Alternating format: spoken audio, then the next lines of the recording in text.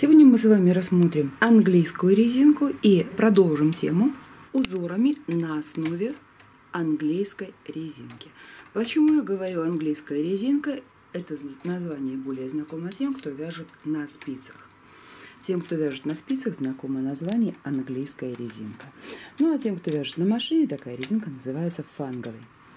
Точно так же, как и на спицах, эта резинка получается благодаря образованию фанговой петли. В случае с вязальной машиной эта английская или фанговая резинка может быть связана с расстановкой игл одна через одну при более толстой пряже и при использовании более тонкой пряжи в работе может участвовать каждая игла. Итак, выполняем расстановку игл для фанговой резинки. Так как для машины третьего класса эта пряжа достаточно тонкая, то мы используем расстановку игл, где в работе задействована каждая игла. Положение игольниц относительно друг друга H. При таком положении игольниц иглы расположены зигзагообразно между собой. Только убедившись в том, что иглы расположены зигзагообразно между собой, приступаем к вязанию. Выполняем обычный набор.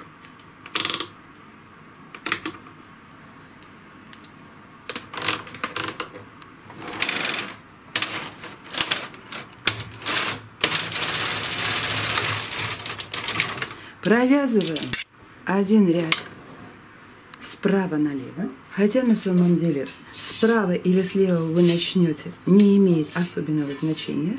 И так как вяжем на двух фантурах, навешиваем двухфантурно-оттяжную гребенку.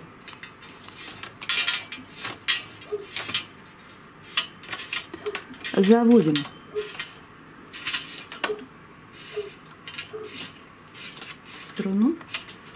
навешиваем грузы. Выполняем обычный заработок.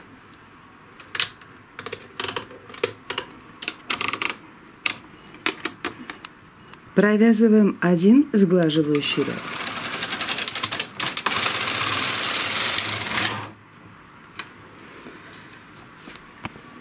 И вот теперь давайте рассмотрим, каким образом выполнить фанковое переплетение или английскую резинку на любой машине Бразер. Если мы с вами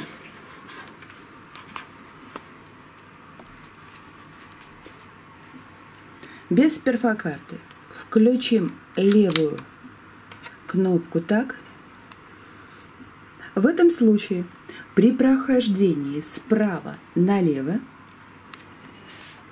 на иглах задней игольницы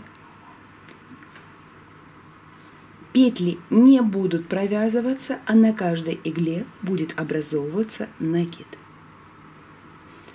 При вязании на спицах мы обычно используем петля, снятая с накидом, лицевая, петля, снятая с накидом, лицевая. В случае вязания на машине принцип точно такой же, так как иглы расположены по мере вязания. Одна игла верхней игольницы, которая и будет сейчас играть петлю с накидом, и следующая, которую мы провязываем. Если мы с вами на нижней каретке переведем рычаг в положении PR справа и ручку выбора с R на P,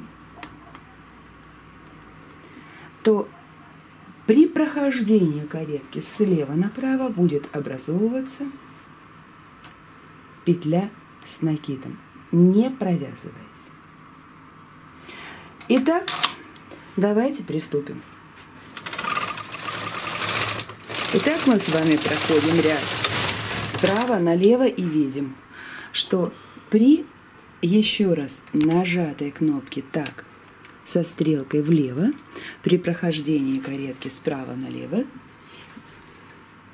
петли не провязывались, но набрасывался накид. Нижние петли все провязаны. При прохождении каретки слева направо будут провязаны верхние петли и с петлей с накидом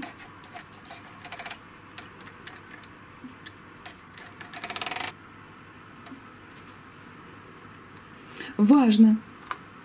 Расстановка игл при вязании фанговой резинки. Итак, если вы собираетесь на верхней игольнице провязывать накид при прохождении каретки справа налево, то важно, чтобы вязание начиналось с верхней игольницы и заканчивалось нижней игольницей. Почему важно? Сейчас увидим. Итак, у нас с вами проходит накид. И обратите внимание, последняя петля провязана. Благодаря этому, когда мы будем возвращать каретку, никакого сброса петель не произойдет. И напротив,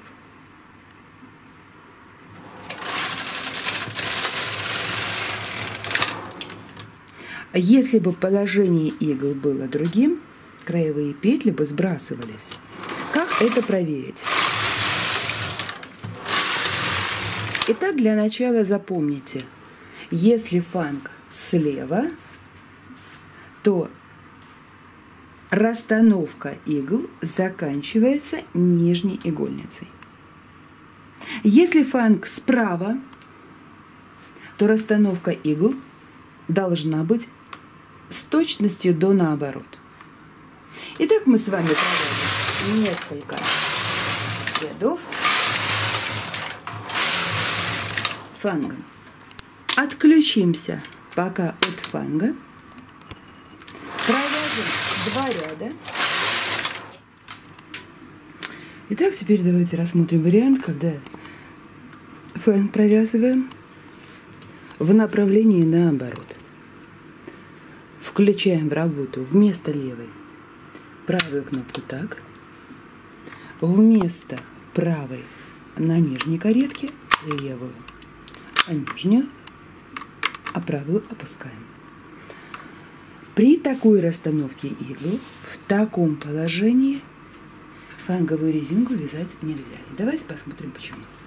Итак, провязываем ряд справа налево.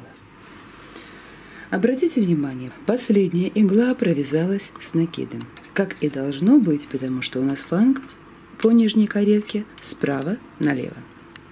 А теперь провязываем слева направо. И теперь здесь на последней игле петля с накидом. И обратите внимание, что произошло. Совершенно верно, произошел сброс петель.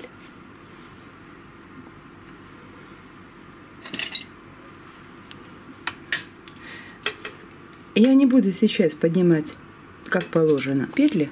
Давайте их просто поднимем посмотрим, что нужно сделать для того, чтобы провязать фанк в другом направлении.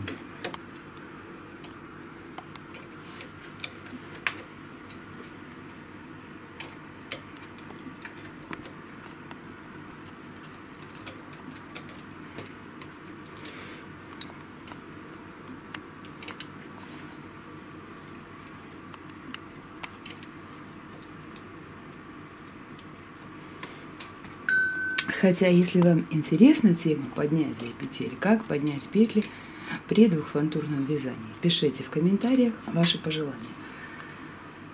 Итак, для того, чтобы мы все-таки провязали фанк вот в таком положении, давайте вначале провяжем сглаживающий ряд.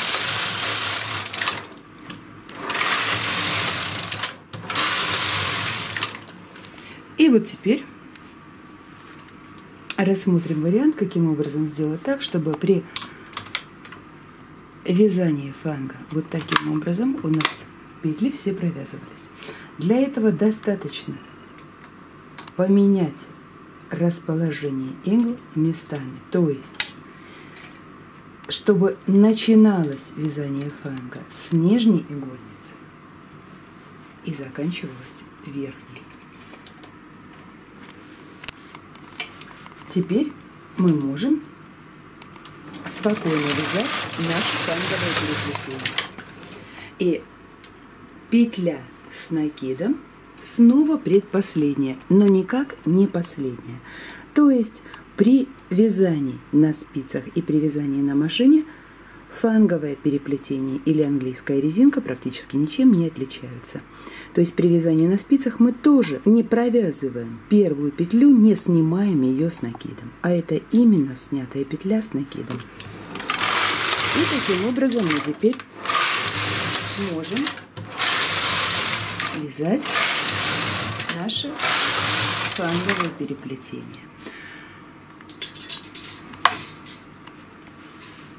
В следующем нашем видео мы рассмотрим, как вязать жемчужную резинку на вязальной машине. Жемчужная резинка имеет название, когда мы вяжем ее на спицах. Что же касается машины, то здесь мы будем говорить о резинке, связанной полуфангом.